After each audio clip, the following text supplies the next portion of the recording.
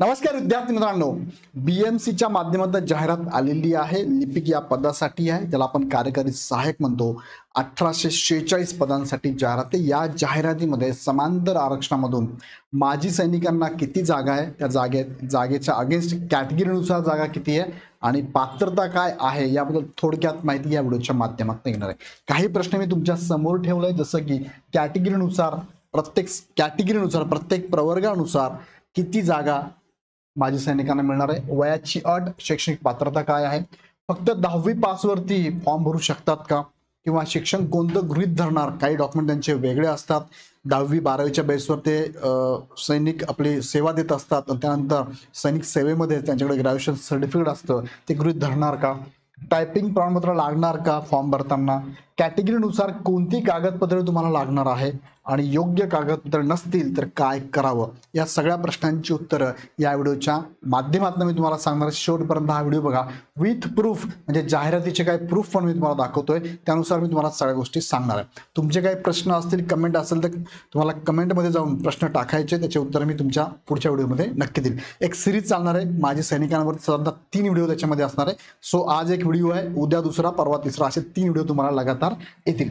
त्यात आज तिकडे जाण्यापूर्वी इग्नाइट अकॅडमीने माजी सैनिकांना मी सांगू इच्छितो की जेवढे माजी सैनिक हा व्हिडिओ बघत असतील तर तुम्ही बऱ्याच गॅप नंतर अभ्यास करणार आहे. आणि मी तुम्हाला सजेस्ट करेल किंवा माझी विनंती राहील जर तुम्हाला मुंबईमध्ये बी एम सी कार्यालयामध्ये तुम्हाला जर जॉब करायला इच्छुक असाल तुम्ही खूप चांगलं पद आहे. पस्तीस चाळीस हजारापर्यंत सुरुवातीला सॅलरी बाकीचे इतर ॲडव्हान्टेजेस खूप जास्त आहे ते तुम्हाला.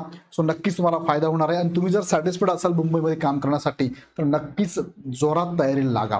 कारण इथे तुम्हाला जागा जर बघितल्या तर तुम्हाला इथे जागा जवळपास दोनशे चौऱ्याहत्तर जागा फक्त आणि फक्त कुणाला आहे? माजी सैनिकांना. तुमच्या जागा कोणीही घेऊ शकत नाही. तुमची कॉम्पिटिशन तुमच्याच बरोबर आहे. म्हणजे तुम्ही जे जेवढे माजी सैनिक आहे ना त्यांच्यातच कॉम्पिटिशन आहे. मग विचार करायचा आपण की माजी सैनिकांबरोबरच आपली कॉम्पिटिशन आहे. तर तुम्हाला तुमच्या लेवलचेच सगळे विद्यार्थी भेटणार आहे कॉम्पिटिटर भेटणार आहे. सो जो विद्यार्थी चांगला अभ्यास करेल किंवा माझ्या सैनिक चांगला अभ्यास करेल त्याचं सिलेक्शन होणार आहे. कट ऑफ किती लागू शकतो कसा अभ्यास करायचा पुढच्या व्हिडिओत मी तुम्हाला सांगेल. पण आत्ता अभ्यासाची योग्य दिशा तुम्हाला मिळावी आणि तुम्हाला माहिती आहे, हा टी सी एस पॅटर्न आहे. सो अभ्यासाची योग्य दिशा मिळवण्यासाठी इग्नाईट अकॅडमीकडनं हा कोर्स तुम्हाला लॉन्च केला आहे फार कमी फीजमध्ये आहे. चौदाशे नव्याण्णव प्लस जी एस टी आहे आणि आता बी एम सी तुम्ही जर आत्ता जर ॲडमिशन घेतलं तर तुम्हाला ट्वेंटी फाय पर्सेंट ऑफ आहे. B M C twenty five हा कोड वापरायचा आणि लगेच ॲडमिशन तुम्ही घेऊन टाकायचं आहे. आता हा जो कोड ना तुम्हाला लिमिटेड आहे एवढ्या तीन दिवसातच तुम्ही ॲडमिशन घेतलं तर हे तुम्हाला सूट आहे. पण मी तुम्हाला सजेस्ट करेल जेवढे माझे सैनिक आहे खूप चांगल्या जागा आहे दोनशे चौऱ्याहत्तर शहात्तर जागा आहे खूप मोठी ॲड आहे. सो तुम्हाला नक्कीच इथे जॉब मिळण्याची संधी खूप जास्त आहे. सो तुम्ही फक्त मार्गदर्शन मात्र योग्य घ्या. तुम्ही कुठे घ्या मार्गदर्शन घ्या. इग्नॅट अकॅडमी ऑप्शन ठेवा. मी तुम्हाला प्रत्येक पावलावर तुम्हाला सांगणार तुमचं काउन्सिलिंग करणार आहे मेंटोरिंग करणार अभ्यास कसा करायचा कोणत्या बुक बंद करायचं अभ्यासाच्या अंती रिझल्ट कसा आणायचा दररोज स्वतःला कसं टेस्ट करायचं हे सगळं गायडन्स तुम्हाला आमच्या टीमकडनं मिळणार आहे. सो ही टीम पूर्ण तुम्हाला इथे गाईड करणार आहे. पूर्ण नोट्स तुम्हाला हे सगळे अनुभवी शिक्षक आहे टी सी एस पॅटर्ननुसार कसे प्रश्न येतात ना हे सगळ्या फॅकल्टीने आतापर्यंत शिकवले. पाठीमागचा तलाठी भरतीचा रिझल्ट बघा पी एम सीचा रिझल्ट बघा. तर तिथे मोठ्या प्रमाणामध्ये आपले रिझल्ट आहे. सो अनुभवी शिक्षक आहे. Strictly I B P S pattern म्हणजे आता हा टी सी एस झालेला आहे. बघा पहिले आय बी पी एस आम्ही सांगतो हा टी सी एस पॅटर्न आहे. पी डी एफ स्वरूपात नोट्स आहे अनलिमिटेड व्ह्यू आहे. ऑनलाईन कसं बघायचं एकदम सिंपल आहे. किती वेळेस लेक्चर बघू शकता? लाईव्ह बघू शकता लाईव्ह नाही बघितलं तर किती वेळेस रेकॉर्डेड लेक्चर तुम्ही बघू शकता? अडचण आली तुम्ही फास्ट फॉरवर्ड करून बघू शकता स्लो बघू शकता. अडचणीला आमची टीम तुम्हाला गाईड करणार आहे. सो लगेच तुम्ही काय करा इग्नाट अकॅडमीच्या कॉन्टॅक्ट नंबरला कॉल करा. खाली नंबर पण दिला. बॅच चालू झाली आहे. सव्वीस ऑगस्टपासून बॅच चालू झालेली आहे. आणि याचे पण लेक्चर जे कालचे लेक्चर आहेत ना हे सगळे लेक्चर रेकॉर्डेड स्वरूपात तुम्हाला बघायला मिळतील. सो आता जर तुम्ही बॅच घेतली तर तुम्हाला पाठीमागचे लेक्चर बघायला मिळत आहे. सो लगेच जॉईन करा. आता मुख्य मुद्द्याकडे घेऊन जाऊ तुम्हाला मी. ही लिपिकची जाहिरात आहे. यामध्ये जर आपण बघितलं तर माजी सैनिक या पदासाठी पंधरा टक्के रिझर्वेशन आहे. टोटल जागा किती आहे तुम्हाला? दोनशे अठ्ठ्याहत्तर आहे. मी शहात्तर म्हणतो दोनशे अठ्ठ्याहत्तर जागा आहे. कशा आहेत कॅटेगरीनुसार पण तुम्ही लक्षात घ्या. एस सी कॅटेगरी उमेदवार आहे एस टी कॅटेगरी एस सीला तुम्हाला एकवीस जागा आहे एस टीसाठी तेवीस जागा आहे. त्यानंतर एन टीच्या जागा आहेत बघा. एन टी अच्या जागा सात आहे बच्या जागा आठ आहे क च्या जागा सहा आहे डच्या जागा सहा आहेत. त्यानंतर एस बी सी विशिष्ट मागास प्रवर्गासाठी सात जागा आहे. ओबीसी साठी अडुसष्ट जागा आहे. ई डब्ल्यू एससाठी अठ्ठावीस जागा आणि एस सी बी सी साठी एस सी बी सी साठी जागा आहेत अठ्ठावीस आणि ओपन कॅटेगरीच्या उमेदवारांसाठी जागा आहे शहात्तर. अशा टोटल दोनशे अठ्ठ्याहत्तर जागा फक्त आणि फक्त माजी सैनिकांसाठीच आहे. ओके आता माजी सैनिक इथे कॉम्पिट करणार फक्त माजी सैनिकांबरोबरच. परत हा माजी सैनिक कुठे कॉम्पिट करू शकतो बरं? हा कॉम्पिट करू शकतो जनरल जागेंसाठी. म्हणजे हाच कॅन्डिडेटला जर जास्त मार्क पडले तर तुम्ही ह्या सत्तेचाळीस बरोबर इथे अठ्ठेचाळीस बरोबर एन टी एमध्ये सतरा बरोबर अठरा बारा बारा पंधरा एकशे अठ्ठेचाळीस साठ साठ आणि एकशे चौसष्ट ह्या जागेंबरोबर सुद्धा तुम्ही कॉम्पीट करू शकता लक्षात घ्या. म्हणजे तसं म्हणाल तर माजी सैनिक शक्यतो इकडे येणं अवघड असतं पण माजी सैनिकांचे इथेच रेंज मी तुम्हाला दोनशे अठ्ठ्याहत्तर जागा माजी सैनिकांना मिळतात. जास्त मार्क पडले तर जनरलमध्ये जाऊ शकता तुम्ही. इथे कॉम्पिटिशन प्रचंड आहे. प्रत्येक कॅटेगरीचा उमेदवार जनरलमध्ये जातो. मग दुसऱ्या भाषेत सांगायचं म्हटलं फॉर एक्झाम्पल हा एस सी कॅटेगरीचा एक उमेदवार असेल. तर एस सी कॅटेगरीच्या उमेदवाराला किती जागांना कॉम्पीट करायचं आहे हे एकवीस आणि सत्तेचाळीस. म्हणजे टोटल जागा किती झाल्या? चार आणि दोन सहा आणि एक आठ. अडुसष्ट जागांबरोबर एस सी कॅन्डिडेटला कॉम्पीट करायचं एस टी कॅन्डिडेटला किती कॉम्पीट करायचं आहे अठ्ठेचाळीस आणि तेवीस म्हणजेच साठ आणि एकाहत्तर जागेंवर कॉम्पीट करायचं. इथे करायचं तुम्हाला चोवीस जागांबरोबर असं प्रत्येकाची बेरीज करा तुम्ही तेवढ्या जागेबरोबर त्या त्या कॅटेगरीच्या उमेदवाराला कॉम्पीट करायचं किंवा इन शॉर्ट तुम्ही इथे तर कॉम्पीट करणारच आहात. ह्या जागा लक्षात ठेवा. खूप चांगल्या जागा तुमच्यासाठी आहे. दुसरं तुम्ही ह्या एकवीस बरोबर इथे पण करतात अजून पुढे जाऊ शकतात. अडुसष्ट अधिक सगळ्यांमध्ये कोण ऍडिशन होणार इथे सगळ्यांमध्ये ऍडिशन होणार आहे शहात्तर आणि एकशे सदुसष्ट पण ऍडिशन होणार आहे. बघा मी काय सांगतो तुम्हाला समजत आलं तर कळेल तुम्हाला. एस सी कॅटेगरीचा उमेदवार मी घेत आहे एक एस सी कॅटेगरीचा उमेदवार घेतला. एस सी कॅटेगरीचा उमेदवार आहे. हा कुठे कुठे कॉम्पीट करतोय बघा. पहिले एकवीस जागांबरोबर कॉम्पीट करतोय. नंतर जनरल जागा आहेत किती? ह्या सत्तेचाळीस जागांबरोबर पण कॉम्पिट करतोय. प्लस ओपनमध्ये जाल तुम्ही ओपनच्या शहात्तर जागा आहे या. या शहात्तर जागा आहे त्यानंतर ओपनच्या एकशे सदुसष्ट पण जागा आहे. एकशे सदुसष्ट. इतक्या जागांबरोबर कॉम्पीट करणारे एस सीचे विद्यार्थी फक्त इथे आकडे बदलतील हे कॉमन राहणार आहे. बरोबर आहे? एवढ्या जागांबरोबर तुम्हाला कॉम्पिट करायचं आहे. सो लक्षात घ्या जनरलच्या जागा तुम्हाला मिळणं थोडं अवघड आहे पण तुमच्या ज्या माजी सैनिकांच्या जागा आहेत त्यांच्यावर कॉम्पीट करणं तुम्हाला सोपं जाणार ओके? ह्या कॅटेगरीनुसार तुमच्या जागा आहेत. इथपर्यंत समज असेल मी पुढे घेऊन जातो तुम्हाला. तुम्ही कॅटेगरीनुसार किती जागासाठी स्पर्धा करणार आहे? म्हणजे मी तुम्हाला आता सांगितल्या त्या पद्धतीनेच एखादा मी उदाहरण एस सी घेतला तर तो कुठे कुठे जातो बरं? एस सी कॅन्डिडेट होतो पहिले ओपन जनरलमध्ये कॉम्पिट करतो नंतर ओपन एक्स मॅनच्या ज्या जागा आहेत तिथे कॉम्पिट करतो नंतर कॅटेगरीनुसार म्हणजे एस सी एस सीचा आहे ना हा म्हणून एस सी मी एस सी जनरलमध्ये कॉम्पिट करतो. सॉरी पहिले कॉम्पिट करताना एक्समॅन बरोबर करेल. ह्या जागा एक्समॅन आणि नंतर जाईल तुम्हाला एस सी जनरलमध्ये सेम इथे सुद्धा जाणार तो. पहिले ओपन एक्समॅनमध्ये जाईल. ओपन एक्स मॅनमध्ये जाईल. नंतर ओपन जनरलमध्ये विचार केला जातो. विचार करताना कसा केला जातो ते पण मी तुम्हाला इथे सांगतो. विचार करताना पहिले इथे विचार करतात. नंतर तुमचा इथे विचार करतात नंतर इथे विचार करतात आणि नंतर इथे विचार करतात. अशा पद्धतीने तुम्हाला या चार जागांबरोबर कॉम्पीट करायचे. म्हणजे एस सी घेतलं तुम्ही ते ऑप्शन वेगवेगळे घेऊ शकता. इथे ओबीसी घ्या तुम्ही एन टीचे सगळे प्रवर्ग घ्या एस बी सी प्रवर्ग घ्या नंतर ईडब्ल्यू एस घ्या एस सी बी सी घ्या बरोबर इथून तुम्ही काय करू शकता कॉम्पिट सगळ्यांबरोबर चार चार ठिकाणी कॉम्पिट करू शकता. हे कॉमन राहणार आहे. हे फक्त तुमचं काय होणार आहे? हा बदल होणार आहे. ओके इथपर्यंत क्लिअर झालं? पुढे घेऊन जातो. वयाची अट व शैक्षणिक पात्रता काय आहे? फक्त दहावी पास विद्यार्थी फॉर्म भरू शकतो का? आणि मार्कशीट कोणते गृहित धरणार? याबद्दल थोडक्यात माहिती आपण घेऊया. बघा त्यांचं नोटिफिकेशन तुमच्यासमोर मी ठेवलेलं आहे. उमेदवार साधारण शैक्षणिक पात्रता जर बघितली तर उमेदवार या जागेसाठी तुम्हाला एस एस सीचा उमेदवार लागतो. एस एस सी प्रथम अटेम्प्टमध्ये पास विद्यार्थी लागतो. आणि आणि काय लागतंय? पदवी पण लागतो. पदवीधर कोणताही पदवीधर तो पण फर्स्ट अटेम्प्ट मध्येच पास असावा लागतो. अशी त्यांची अट आहे. ओके आता ह्या अटीनंतर बघितलं तर अजून काय अट आहे याच्यामध्ये? यात एक अट महत्वाची अजून आहे तुम्हाला. दहावीला किंवा दहावीच्या समकक्ष असलेले जी एक्झाम असेल तिला शंभर गुणांचं मराठी आणि शंभर गुणांचं इंग्लिश हे लँग्वेज असणं पण गरजेचं आहे. आणि एक महत्वाची आहे पुढे. तुम्हाला इंग्रजी आणि मराठी टंकलेखन टायपिंग लागणार आहे तीस तीस प्रती तीस मराठी तीस इंग्लिश. पण यामध्ये तुम्हाला सूट दिलेली आहे. काय सूट पुढे मी तुम्हाला दाखवतो. बरोबर? पुढे तुम्हाला मी दाखवतो. पुढचं घेऊया आपण. आता हे परिपत्रक ह्या परिपत्रकात त्यांनी सांगितलेलं आहे बघा. त्यांनी काय सांगितलंय? टंकलेखन अर्हता आवश्यक आहे. ज्या पदासाठी आवश्यक आहे त्यांच्यासाठी काय सांगितलंय? त्यामध्ये माजी सैनिक उमेदवारांना टंकलेखनाची परीक्षा उत्तीर्ण होण्याची नियुक्तीच्या दिनांकापासून दोन वर्षाचा कालावधी दिला जातो आणि दोन संधी दिल्या जातात. म्हणजे आता फॉर्म भरताना टायपिंग सर्टिफिकेटची गरज नाही. कधी लागेल? नियुक्ती झाल्यानंतर पुढे दोन वर्षात. जॉबवर असताना दोन वर्षात तुम्हाला हे काढायचं आहे आणि ते आरामशीर तुम्ही काढू शकता. अजून पुढचा मुद्दा त्यांनी सांगितलं बघा. तुम्हाला जो वनमध्ये थ्री पॉईंट दिले बघा. फर्स्ट सेकंड आणि थर्ड म्हणजे कुठे दिलेले हे?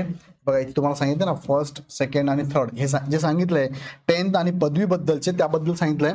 शैक्षणिक अर्हतेऐवजी पंधरा वर्ष सैनिकी सेवा जर तुमची झाली असेल पंधरा वर्ष सैनिक सेवा जर असेल तर माझे सैनिक जे एस एस सी उत्तीर्ण असतील किंवा Indian army special certificate of education जे की तुम्हाला सेवा देत असताना मिळतं हे सर्टिफिकेट पण तुमचं चालणार आहे. अथवा तत्सम प्रमाणपत्र धारक असतील तर त्या पदांसाठी पदवी परीक्षा ही पात्रता आवश्यक आहे. जेथे तांत्रिक अनुभवाची गरज नाहीये अशा ठिकाणी तुम्हाला दहावीच्या बेसवर सुद्धा फॉर्म भरता येणार आहे. हा जी आर आहे पाच दहा एकोणावीसशे एकोणनव्वदचा. त्या जी आरनुसार त्यांनी सांगितलेला आहे. त्याचबरोबर आता सोबतचं परिपत्रक आहे नऊ सात दोन हजार चोवीसचं. त्यानुसार तुम्ही फॉर्म भरू शकतात. इन दॅट केस माजी सैनिक पात्रतेमध्ये बघितलं आपण तर काय आहे? पहिले म्हणजे पंधरा वर्ष नोकरी करणारा जर एखादा माजी सैनिक असेल तर त्याला दहावीच्या बेसवरती इथे त्याला इथे प्रवेश किंवा या एक्झामला तो ॲपियर होऊ शकतो. काय? दहावीच्या बेसवर सुद्धा तो एक्झाम देऊ शकतो. आणि जर एखाद्या उमेदवाराची पंधरा वर्ष नोकरी नसेल तर त्याला ऑदरचे सर्टिफिकेशन लागणार आहे म्हणजे कोणतं? दहावी पण लागणार आहे आणि पदवी पण लागणार आहे. मग दहावी आणि पदवी दहावी तुमच्याकडे असेल तर ठीकच आहे. किंवा तुम्ही सेवा कालावधीमध्ये जरी ग्रॅज्युएट झाला असाल तर ते सर्टिफिकेट सुद्धा तुमचं इथे ग्राह्य धरलं जातं. ओके झालं? एज्युकेशन बाबत दुसरं टायपिंग सर्टिफिकेट बाबत काय सांगितलंय? दोन वर्ष तुम्हाला सूट आहे. तुमच्याकडे असेल तर वेल अँड गुड असेल तर तुमची काय टायपिंगची स्किल टेस्ट एक्झाम होणार नाही आहे सो असेल तर शो करा. नसेल तरी तुम्हाला नंतर शो केलं तरी चालणार आहे. एम एससाठी सुद्धा तुम्हाला दोन वर्ष काय दिली आहे? सवलत दिलेली आहे. सो आत्ताच तुम्हाला ते गरजेचं नाही आहे आणि मराठी किंवा इंग्लिश शंभर मार्क सह असावा. म्हणजे हे दोघे विषय तुमचे दहावीला किंवा तत्सम जी शैक्षणिक अर्हता आहे दहावी असेल बारावी असेल तर त्यावेळेस शंभर मार्कांचा मराठी आणि इंग्लिश असावा ही मात्र तुम्हाला लागू आहे. ओके? त्यानंतर पुढे बघूया आपण. Age limit. Before that ignite अकॅडमीकडनं प्रत्येक स्पेशल बॅच पण आपण चालू केलेला आहे. पण मी तुम्हाला सजेस्ट करेन स्पेशल बॅच आहे आपल्याकडे पण तुम्ही डायरेक्टली पूर्ण कोर्स घ्या जो की कमी फीमध्ये पण आहे आणि त्या फीमध्ये तुम्हाला टेस्ट सिरीज पण फ्री आहे. सो तो कोर्स घ्या तुम्ही. पण कुणाला जर वाटलं तर स्पेशल बॅच घ्यायची तर हे चारही फॅकल्टीच्या स्पेशल बॅचेस आपल्याकडे अवेलेबल आहे. आता पुढे वयोमर्यादा जर आपण बघितली तर वयोमर्यादा काय दिली माजी सैनिकांना? माजी सैनिकांना वयोमर्यादेमध्ये जी आर आहे बघा दोन वीस ऑगस्ट दोन हजार दहाचा. त्यानुसार तुमच्या वयोमर्यादेमध्ये सूट दिलेली की सूट कशी आहे? उमेदवाराच्या सशस्त्र दलात झालेल्या सेवे इतका कालावधी अधिक तीन वर्ष इतकी तुम्हाला सूट दिली आहे. आणि तुम्ही जर माजी सैनिक दिव्यांग असाल तर तुम्हाला पंचेचाळीस वर्षापर्यंत तुम्हाला सूट असणार आहे. आता हे कशी वजा करायची? उदाहरणार्थ मी तुम्हाला एक उदाहरण घेऊन दाखवतो. उदाहरणार्थ एक माजी सैनिक आहे. सपोज एक माजी सैनिक आहे ए नावाचा. माजी सैनिक आहे ए नावाचा. आणि ह्या माजी सैनिकांनी सेवा कालावधी जर बघितला आपण सेवा कालावधी सपोज मी तो पकडतोय की सेवा कालावधी आहे वीस वर्षांचा. वीस वर्ष सेवा कालावधी आणि त्याचा करंट वय जर आपण बघितलं आता करंट एज जर आपण बघितलं त्या त्या कॅन्डिडेटचं तर सपोज ते वय आहे सपोज बेचाळीस वर्ष आहे. किंवा बेचाळीस वर्ष आहे. मग त्याला सवलत कशी असेल? तर त्याचं करंट जे वय आहे त्यामध्ये त्यामधून त्याने जेवढी सेवा दिली आहे जेवढी सेवा केली म्हणजे किती केली आहे? वीस वर्ष ते वजा करायचे. म्हणजे आत्ता त्याचं करंट वय पकडलं जातंय बावीस वर्ष. किती? बावीस. आणि तुम्हाला माहिती आहे की वयाची मर्यादा कशी आहे? ओपनसाठी इथे जर बघितलं तर ओपन अठरा ते अडोतीस आहे. आणि इतर ज्या कॅटेगरी त्यांना अठरा ते त्रेचाळीस आहे. म्हणजे आपण कॅटेगरीतनं मग हा ए कॅन्डिडेट हा फॉर एक्झाम्पल हा कॅन्डिडेट होता हा कॅन्डिडेट होता एस सी कॅटेगरी मधला. किंवा कोणताही पकडा तुम्ही एस सी तर साहजिक एस सीला किती आहे? अठरा ते त्रेचाळीस आहे. मग याचा करंट वय किती? बावीस आहे. म्हणजे या दरम्यान आलाय तो फॉर्म भरू शकतो. प्लस अजून तीन वर्ष दिली असं होऊ शकतं. एखादा कॅन्डिडेट आहे त्यांनी फॉर एक्झाम्पल पस्तीस वर्ष सेवा केली. पस्तीस वर्ष. त्याचं वय किती? करंट वय पस्तीस आहे. आणि त्यांनी सेवा जी दिली फॉर एक्झाम्पल त्यांनी अठरा वर्ष सेवा दिली आहे. मग यांची वजाबाकी जर केली तर किती येते ती? जवळपास सतरा वर्ष येते. आणि आता याचं मिनिमम वयच किती आहे? अठरा दिलाय. प्लस अधिक करता येते तुम्हाला. म्हणजे प्लस अधिक करून तुम्हाला वीस वर्ष तुम्ही इथे शो होऊ शकतात. आणि तुम्ही परत एकदा फॉर्म इथे भरण्याला पात्र असू शकतात. इथं लक्षात सिंपल आहे. ओके वयोमर्यादा तुम्हाला मी सांगितलं थोडक्यामध्ये. तर वयोमर्यादेमध्ये तुम्ही असे कॅल्क्युलेट करून तुम्ही फॉर्म भरू शकतात. वयात सूट कशी कॅल्क्युलेट कशी करायची? तुम्हाला आता ऑलरेडी दाखवलंय. तीच तुम्हाला इथे करायचं आहे नेक्स्ट तुम्हाला जायचं आहे कॅटेगरीनुसार कोणती कागदपत्र लागणार आहे आणि योग्य कागदपत्र नसतील तर काय करावं? आता बघूया कागदपत्रे कोणती लागतात. तर पहिलं उमेदवार उपलब्ध न झाल्यास पदे कशी भरली जातात? हा पण एक महत्त्वाचा मुद्दा आहे. हा पहिले क्लिअर करतो मी उमेदवार उपलब्ध नाही झाला त्यांनी जी आर सांगितलं बघा सोळा चार एकोणीसशे एक्क्याऐंशीचा हा जी आर आहे. ह्या जी आरमध्ये सांगितलं आहे की माजी सैनिक उपलब्ध न झाल्यास अशी पदे सदर भरती वर्षाकरिता रिक्त ठेवण्यात येतील. म्हणजे पुढच्या वर्षासाठी ती परत कॅल घेतली जातात ओढून घेतली जातात. एक वर्ष तुम्हाला रिक्त ठेवतात. माजी सैनिकांना डॉक्युमेंट कोणती लागतात तर त्यामध्ये हे महत्वाचं आहे. जिल्हा सैनिक कल्याण मंडळ जिल्हा सैनिक कल्याण मंडळाकडे नाव नोंदणी केलेली असणं आवश्यक आहे. आणि ते नाव नोंदणी केल्यानंतर म्हणजे जिल्हा सैनिक बोर्डात नाव नोंदणी केल्याच्या प्रमाणपत्राची साक्षांकित प्रत. तुम्हाला एक प्रत राहत लागते. तुम्ही जिल्हा सैनिक बोर्डामध्ये जाऊन तुमचं नाव नोंदवायचं आहे आणि तिथून तुम्हाला ती प्रत घेऊन यायची आहे. जेव्हा डॉक्युमेंट व्हेरिफिकेशन होतात तेव्हा हे डॉक्युमेंट व्हेरिफिकेशनला तिथेच जातात. जिल्हा सैनिक बोर्डामध्ये व्हेरीफाय केलं जातं की हा माझे सैनिक आहे का? यांनी एवढी सेवा केलेली आहे का? हे याचंच डॉक्युमेंट आहे का? हे व्हेरीफाय केलं जातं. सो इथे तुम्हाला काय करायचं? जाऊन ती प्रत तुमच्याकडे ठेवायची. नोंद करायची. प्रत तुमच्याकडे ठेवायची. आणि ती का डीव्हीच्या वेळेस पण दाखवावं लागणार आहे आणि नियुक्तीच्या वेळेस पण तुम्हाला दाखवावी लागणार आहे. त्याच्या व्यतिरिक्त डॉक्युमेंट कोणते कोणते? बघा तुमचं एकतर दहावी लागेल. जर पंधरा वर्ष झाली असेल सर्व्हिस तुमची तर तुम्हाला दहावीवरतीच फॉर्म भरता येईल. पंधरा नसेल झाली तर तुम्हाला ग्रॅज्युएशनचं सर्टिफिकेट लागेल. जे तुम्ही ग्रॅज्युएशन सेवा कालावधीत जरी केला असेल तरी चालणार आहे. कास्ट सर्टिफिकेट तुम्ही ज्या कास्टमधनं बिलॉंग करतात ते कास्ट सर्टिफिकेट अगदी तुमचं जुनं असेल ओल्ड असेल तरी चालेल. आता न्यू काढला असेल तरी चालतंय. कोणतंही चालतंय. कास्ट व्हॅलिडीची आत्ता गरज आहे का? इफ नो नीड याची गरज आत्ता नाही आहे तुमची एक्झाम झाल्यानंतर नियुक्ती झाल्यानंतर सहा महिने कालावधीत तुम्हाला दिलं तरी चालतं. एनसीएल तुम्ही जर कॅटेगरीमधनं फॉर्म भरत असाल तर नॉन क्रिमिनल कंपल्सरी आहे. नॉन क्रिमिनल काढून घ्या. त्यानंतर एस सी बी सी आणि ईडब्ल्यू एस या हे दरवर्षी दरवर्षी काढण्याचं डॉक्युमेंट आहे. जे ओपन कॅटेगरीचे उमेदवार असतील त्यांनी त्यांचं सर्टिफिकेट निघतं का चेक करा. S C B C open मराठासाठी आहे. ओपन मराठा सोडून बाकीच्यासाठी ईडब्ल्यू एस आहे. हे दरवर्षी काढावं लागतं. हे पण अपडेट ठेवा. याच्यातनं होणार काय तुम्हाला? फीमध्ये सवलत मिळेल पहिली गोष्ट. दुसरं म्हणजे तुम्हाला एज लिमिटमध्ये अजून रिलॅक्सेशन मिळू शकतं. ओके बाकी मोठा याचा काही विशेष तुम्हाला फायदा नाही आहे डोमेसाईल त्यात अजून हा फायदा काय? तुम्ही कॅटेगरीमधनं तुम्हाला एक्स्ट्रा जागेसाठी कॉम्पिट करायला मिळतंय. एक्स्ट्रा जागा मिळतात ना कॉम्पिट करायला.